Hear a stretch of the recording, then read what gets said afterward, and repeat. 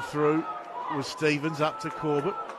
He hooks it back only as far as the former North Adelaide Rooster Dowling takes a nice mark, goes short. Well picked up on the bounce here.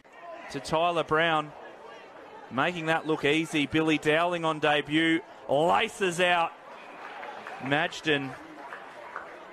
Now Crouch. He send Adelaide inside 50 for the first time today. He just gets them inside 50, and it's a nice mark taken by the debutant Billy Dowling. Goes past Keane, taken there by McPherson. Dowling will get it back in the 1 2 from Taylor, and Dowling's kick towards right. Ryan. Sweeping handball now. Cook evades one. Has support from Dowling, who has support from Brown.